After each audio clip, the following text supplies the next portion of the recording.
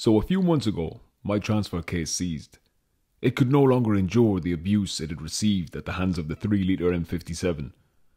The additional speed and torque produced by the new engine, coupled with the lack of oil in the transfer case, had resulted in complete chaos.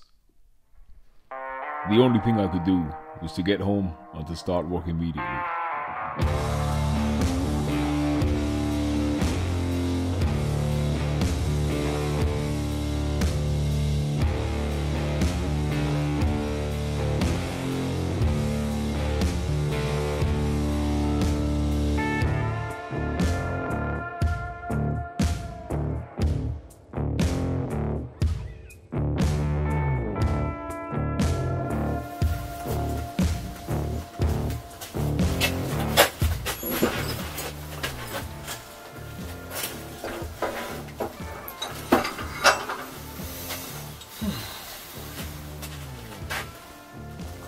In grease.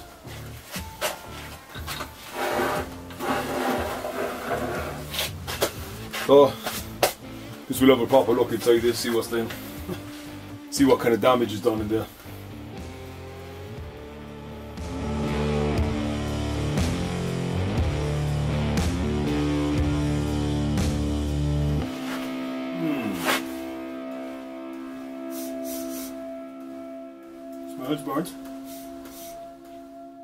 Looks burnt.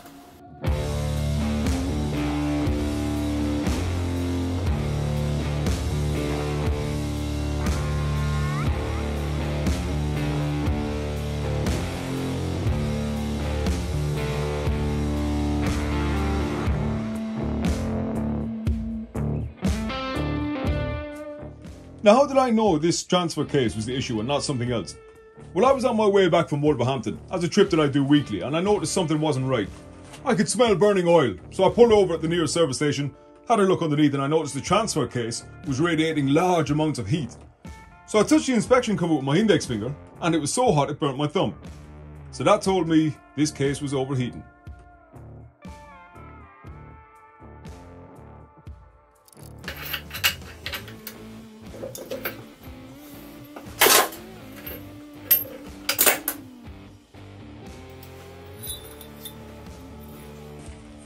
I mean, now that we've stripped it down, I guess you can kind of see what's wrong. Um, these little fellas here are meant to be somewhere else, basically.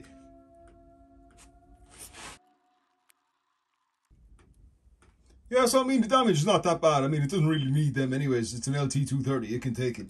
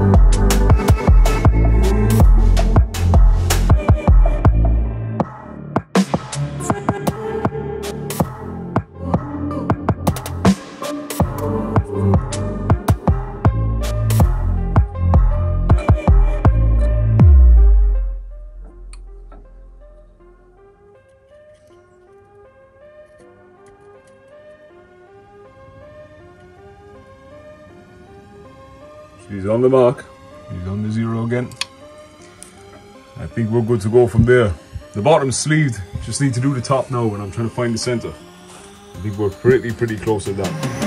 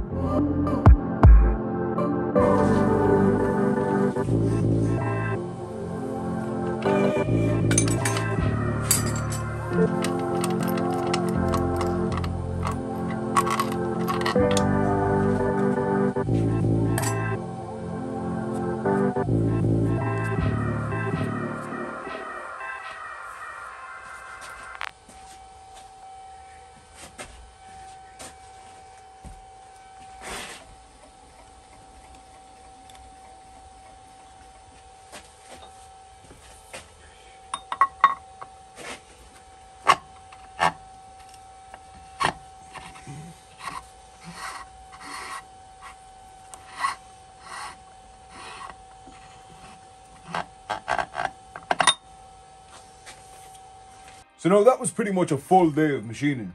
There's a lot of work involved in sleeving one of these. Now, you can buy these cases sleeved from the likes of Ashcroft transmissions or uh, Synchro gearboxes, but they do just the rear sleeve only. This is the front sleeve here. They supply a case uh, which is sleeved on the rear only. Now I asked Ashcroft why don't they supply a sleeve for the front and he said they rarely have issues with the front of the case so they don't bother manufacturing them. I guess they have to, you know, buy them in bulks of a couple of hundred, and it's just not worth buying if they rarely have those issues. So my case was damaged on the front and the back, so I had to make my own sleeve for the front. Now, when you think about it, the rear sleeve has no lateral pressure on it, if you want to say. The only pressure that's on it would be axial pressure, as in, you know, round. But in terms of pulling through the case, there's nothing really that would pull it, pull the sleeve through the case or push it out as such. But on the other side, that's different. You see this shaft here? We got the nut on the end of this shaft, which basically sets the preload on the tapered bearings. Now, that nut is going to pull this shaft through the case like this, which means it can pop that sleeve out the other side, if you know what I'm saying. That nut itself won't pull the shaft through, but if there's pressure on it, which there will be because of the gear type, it's going to pull this shaft through the case, which will pop that sleeve out of the front of the case. So to solve that problem, I have to do that sleeve in two halves.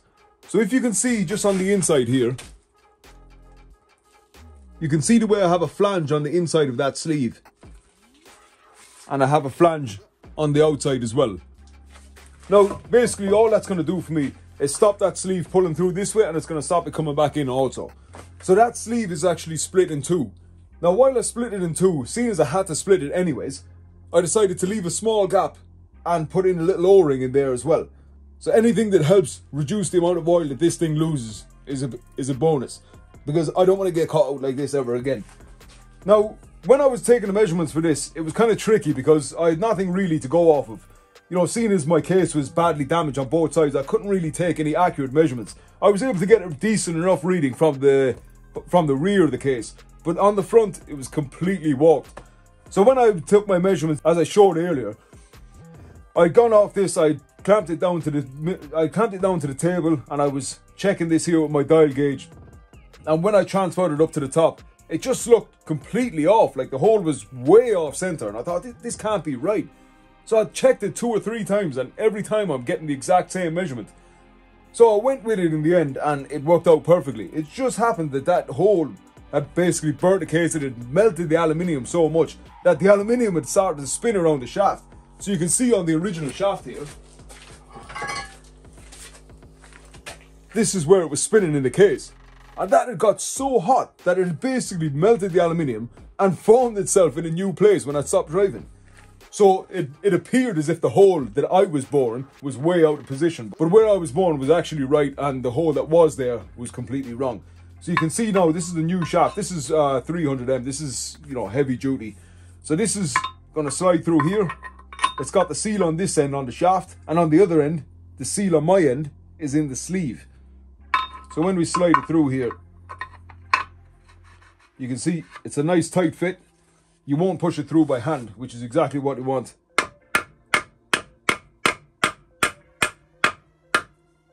There you have it. Nice, solid job. I can't see this part of the transfer case giving us trouble ever again.